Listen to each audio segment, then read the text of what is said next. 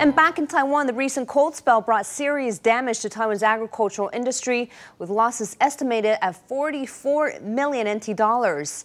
President Ma Ying-jeou and Premier designate Simon Chang inspected agricultural and aquacultural damage around Taiwan today, promising subsidies to help farmers ahead of the upcoming Lunar New Year holiday. President Ma Ying-jeou visited the strawberry farm high in the mountains of Miaoli County.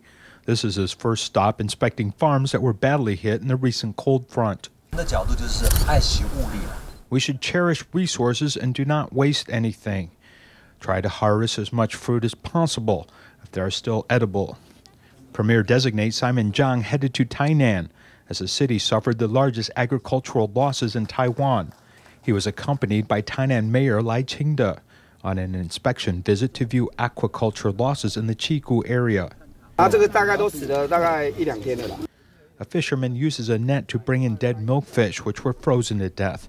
With Lunar New Year just 10 days away, these losses are catastrophic for the aquaculture industry.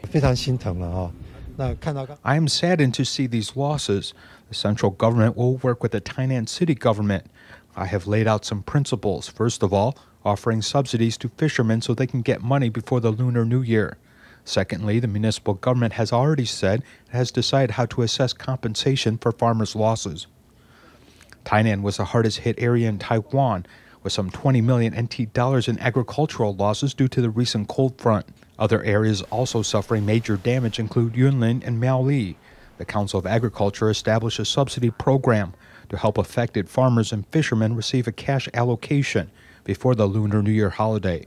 When losses are assessed at 20% or more of the overall crop, farmers can apply for cash subsidies and a low interest loan before February 4th.